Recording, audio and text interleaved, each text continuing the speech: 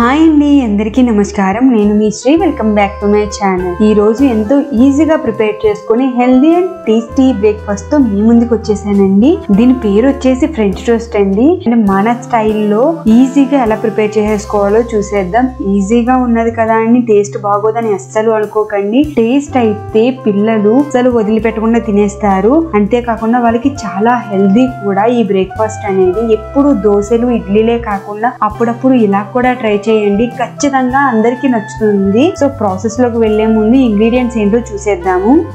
బెల్లం పాలు one fifty ML four eggs దాల్చిన చెక్క యాలక్కాయలు ఫోర్ బ్రెడ్ స్లైసెస్ అండి. బ్రెడ్స్ అనేవి మీ ఆప్షన్ అండి ఎన్నైనా తీసుకోవచ్చు. నేను ఒక ఫోర్ తీసుకొని చేస్తున్నాను అంతే. నేను బ్రౌన్ బ్రెడ్ తీసుకున్నానండి. మీరు ఏ బ్రెడ్ తీసుకున్నా పర్వాలేదు. ముందుగా బెల్లాన్ని మనం ఈ రకంగా పౌడర్ చేసుకోవాలండి.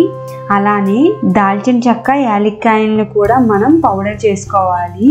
బటర్ మనం బటర్ ప్లేస్లో గీని కూడా యాడ్ చేసుకోవచ్చండి. లేదనుకుంటే గనక మనం ఆయిల్ని కూడా వేసుకోవచ్చు. ప్రాబ్లం ఏం లేదు. ఇప్పుడు మనం మిక్సింగ్ చేసుకుందామండి వీటన్నిటిని కూడా.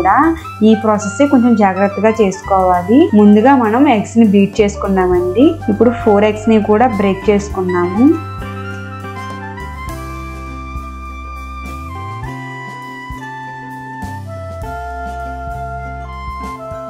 చూసారు కదా ఈ రకంగా ఫోర్ ఎగ్స్ని కూడా బ్రేక్ చేసుకోవాలి.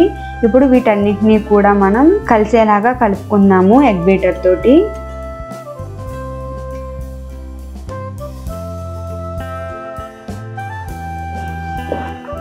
ఇలా చక్కగా బీట్ చేసుకోవాలండి. చూసారు కదా ఇదంతా కూడా మంచిగా మిక్స్ అయ్యింది. ఇప్పుడు మనం దీంట్లోకి మిల్క్ని యాడ్ చేసుకుందాము. నేనైతే ఒక పెద్ద కప్కి హాఫ్ తీసుకున్నానండి ఫోర్ ఎగ్స్కి అండ్ ముందుగా మనం గ్రైండ్ చేసి పెట్టుకున్న బెల్లం కూడా యాడ్ చేసేసుకుందాము. బెల్లం మీకు అయితే చూపించాను కదండి చిన్న ముక్క. ఫోర్ ఎగ్స్కి అది సరిపోతుంది. మీకు స్వీట్ ఎక్కువ కావాలనుకుంటే కనుక ఇంకొంచెం యాడ్ చేసుకోవచ్చు. స్వీట్ అనేది కంప్లీట్ మీ ఆప్షన్ అండి. మీరు ఎంత కావాలనుకుంటే అంత యాడ్ చేసుకోండి. షుగర్ కూడా యాడ్ చేయొచ్చు బట్ నేను షుగర్ని ప్రిఫర్ చేయను. ఎందుకంటే బెల్లం అనేది కొంచెం హెల్దీ కాబట్టి ఇప్పుడు మనం ముందుగా గ్రైండ్ చేసి పెట్టుకున్న దాల్చిన చెక్క యాలక్కాయ పొడిని కూడా యాడ్ చేసుకుంటున్నాను. దీనివల్ల ఏంటంటే మంచి అరోమా వస్తుంది. అంతేకాకుండా ఎగ్ స్మెల్ అనేది లేకుండా కూడా చేస్తుందండి. సో ఇవన్నీ కలిసేలాగా మనం బాగా బీట్ చేసుకుందాము. చూసారు కదా చక్కగా వీట్ అయిపోయిందని మొత్తం కూడా మిక్స్ అయిపోయింది. ఇప్పుడు మనం ప్రాసెస్లోకి ఎంటర్ అయిపోదాం. ఇప్పుడు స్టవ్ ఆన్ చేసి ప్యాన్ అనేది పెట్టేసుకున్నాను. సో కొంచెం ప్యాన్ అనేది హీట్ చేసుకోవాలండి. హీట్ చేసుకున్న తర్వాత నేను బటర్ని యాడ్ చేసుకుంటున్నాను. ఇది కంప్లీట్ కూడా మీ ఆప్షన్ అండి బటర్ వేసుకోవచ్చు లేదా నెయ్యి అన్నా వేసుకోవచ్చు. లేదు అనుకుంటే కనుక ఆయిల్ అన్నా యాడ్ చేసుకోవచ్చు. నాట్ ఏ ప్రాబ్లం అనమాట బట్ బటర్ కానీ గీ కానీ యాడ్ చేసుకుంటే ఒక మంచి ఫ్లేవర్ అనేది వస్తుంది. ఆ నెయ్యి ఫ్లేవర్ అనేది మనకి బాగా తెలుస్తుంది. బటర్ని ఇప్పుడు మొత్తం ప్యాన్కి అప్లై చేసుకుందాం ఒకసారి.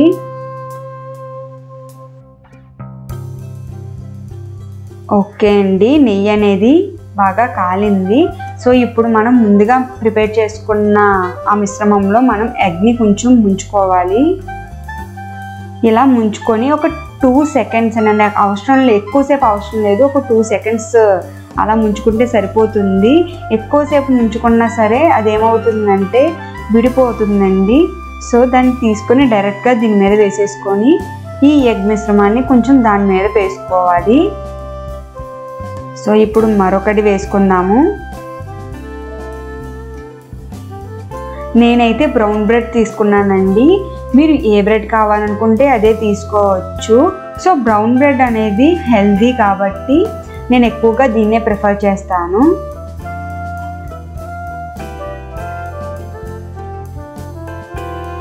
యాక్చువల్లీ బ్రౌన్ బ్రెడ్ అనేది డైరెక్ట్గా కూడా తినలేము. సో ఈ రకంగా చేసుకుంటే కనుక ఈజీగా తినేయచ్చు అండ్ కంప్లీట్ హెల్దీ అండి దీంట్లో మనకి ఎక్కడా కూడా అన్హెల్దీవి వేయట్లేదు కాబట్టి సూపర్గా పిల్లలు కానీ పెద్దవాళ్ళు కానీ ఎవరైనా సరే దీన్ని తినొచ్చు. సో మనం ముందుగా వేసుకునేది మొత్తం అబ్జర్వ్ అయిపోయింది కాబట్టి ఇంకొంచెం యాడ్ చేసుకుంటున్నాను. ఈ ప్రాసెస్ అంతా కూడా లో ఫ్లేమ్లోనే చేసుకోవాలండి మనం. అప్పుడే అది బాగా కుక్ అవుతుంది.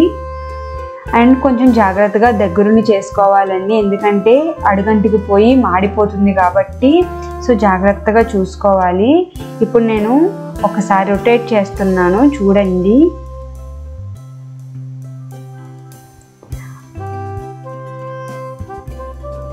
చూసారు కదా ఎంత చక్కగా మంచి గోల్డెన్ బ్రౌన్ కలర్ వచ్చిందండి. సూపర్గా కాలింది. సో ఇన్- ఈ రకంగా కాలితే సరిపోతుంది. ఇప్పుడు మరొక సైడ్ కూడా ఆ రకంగానే కాల్చుకున్నాము ఇప్పుడు మరొకసారి రొటేట్ చేసి చూద్దాము. ఓకే ఫైన్ ఈ సైడ్ కూడా సూపర్గా కాలిందండి.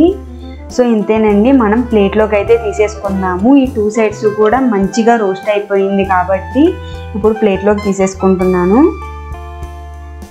ఇప్పుడు ఐడియా కోసం అని చెప్పేసి మరొకసారి నేను వేసి చూపిస్తానండి. మీకు క్లియర్గా ఐడియా వస్తుంది. ఎంతవరకు రోస్ట్ చేసుకోవాలనేది తెలుస్తుంది. ఇప్పుడు మరొక కొంచెం బటర్ని యాడ్ చేసుకుంటున్నాను నేను.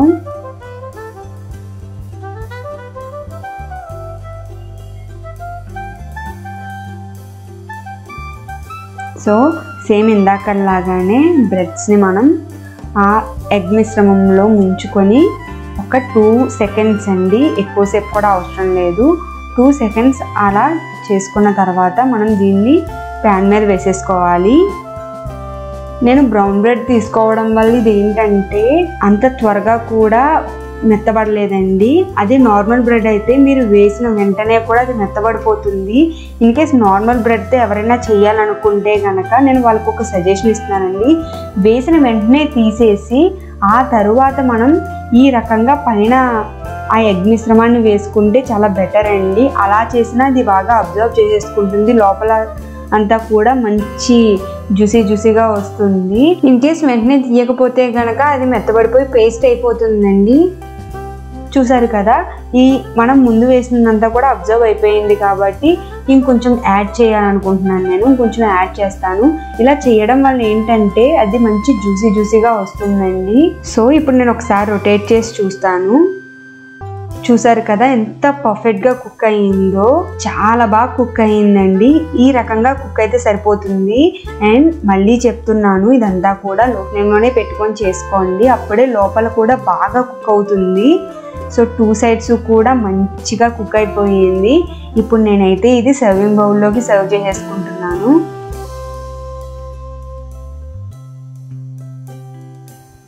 చూసారు కదా ఎంత చక్కగా కుక్ అయిందో. నేను జస్ట్ లైట్గా హనీతో దీన్ని గార్నిష్ చేసుకున్నానండి. ఇది కంప్లీట్ ఆప్షనల్ అండి. మీరేమీ చేయనవసరం లేదు. సో టేస్ట్ అయితే అద్భుతంగా ఉంటుందండి.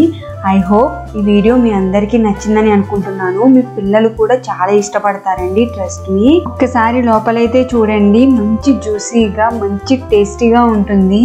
ఈ వీడియో గనక మీకు నచ్చినట్లయితే please like share and subscribe. పక్కనే ఉన్న బెల్ ఐకాన్ కూడా ప్రెస్ చేయండి.